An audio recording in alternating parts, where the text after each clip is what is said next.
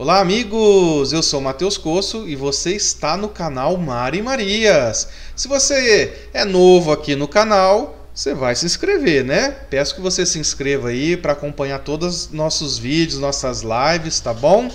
E os demais colegas aí, deixe seu like. Então, hoje eu vou falar de um assunto que ainda rende muita polêmica e muita gente tem essa informação de maneira equivocada, tá? Que é o que? A tal da impressora sublimática. Né? Todo, todo ramo profissional tem seus mitos, né? suas lendas. E no ramo de sublimação não é diferente. Existe muitos mitos, muitas lendas, o folclore da sublimação, né? que a gente brinca. Que é, por exemplo, uh, o assunto que nós vamos falar aqui, que é, existe impressora sublimática? A impressora própria para sublimação, né? Sublimação é, não é transfer. Então, tudo isso é lenda, gente. Né? Depois eu posso fazer até um outro vídeo brincando e, e enumerando as lendas, o folclore da sublimação, já que eu sou aqui de Olímpia, capital nacional do folclore. Bom, mas enfim, então vamos lá. Assunto deste vídeo. Muita gente me pergunta o seguinte: né? muita gente pergunta nos canais, aqui no YouTube, lá no WhatsApp, tá? Eles me perguntam o seguinte: essa impressora ela é sublimática? E me manda um modelo.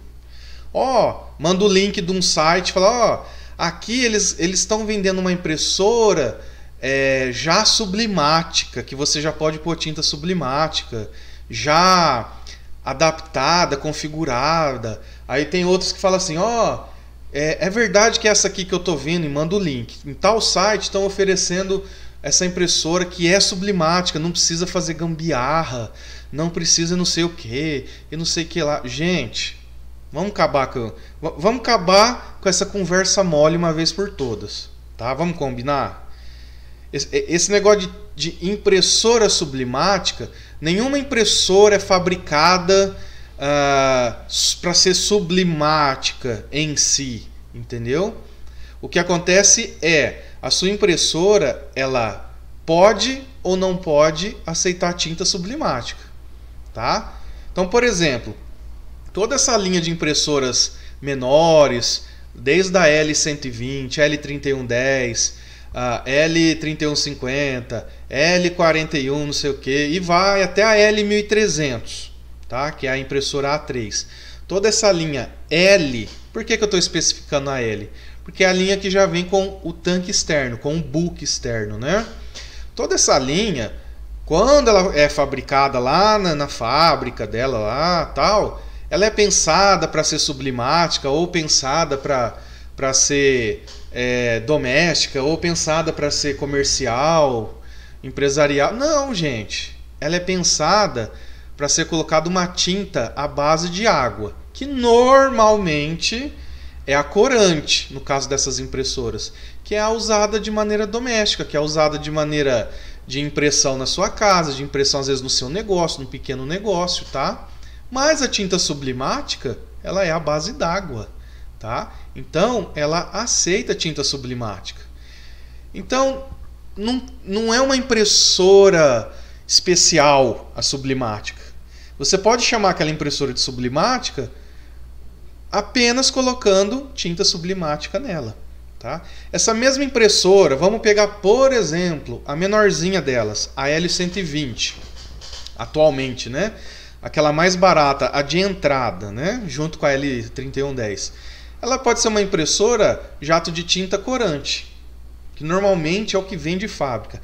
Ela pode ser uma impressora ah, com jato de tinta pigmentada, com tinta pigmentada à base d'água.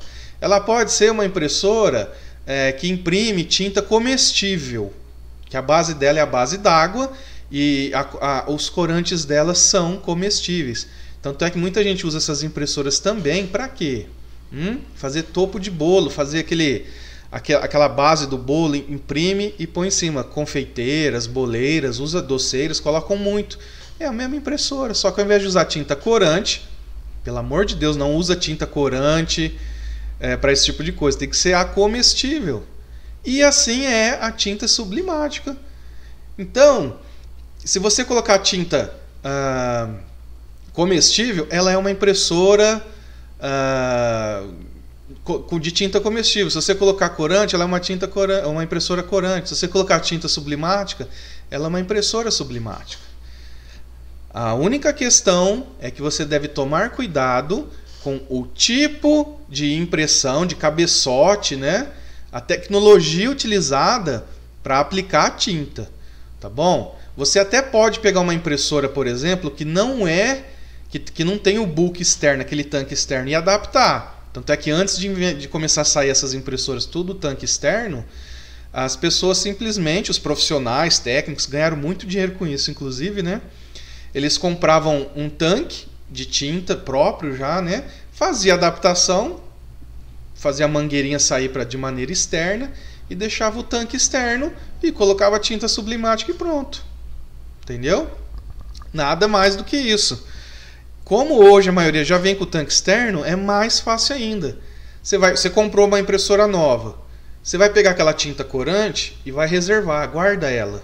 Isso se você tá, vai, for trabalhar com sublimação guarda ela ou vende, tá? E coloca diretamente a tinta sublimática. Então, magicamente, a sua impressora vai ser impressora sublimática. Eu vejo muitas empresas, infelizmente, utilizando dessa conversa fiada, dessa lenda, para vender a impressora mais cara.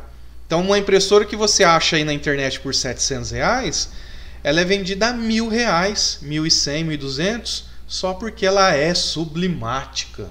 Ó, oh, tem nada a ver, gente.